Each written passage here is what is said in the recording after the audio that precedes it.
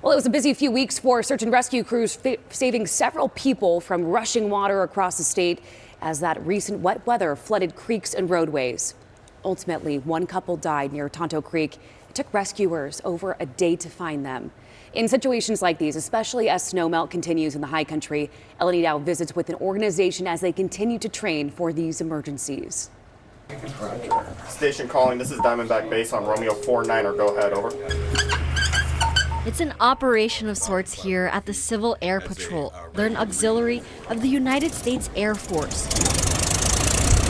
The goal? To train constantly and be ready to help whenever called. When the missions actually happen, when the crises actually occur, um, lives count on us being able to do the job that we're tasked to do.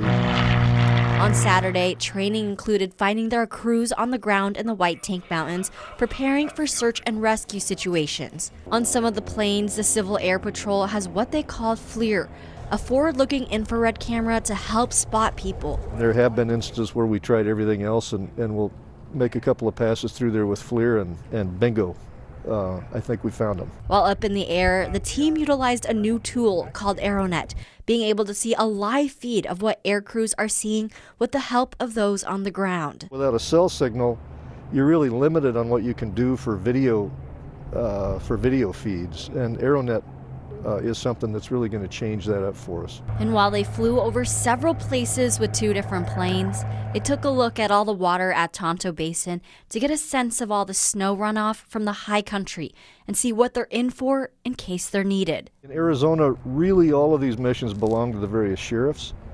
So when the sheriff is feeling overtasked with with his or her resources, then they can call us. They do call us for, for either our expertise or to backfill their, their own people. In Deer Valley, Elenee Dao, ABC 15, Arizona.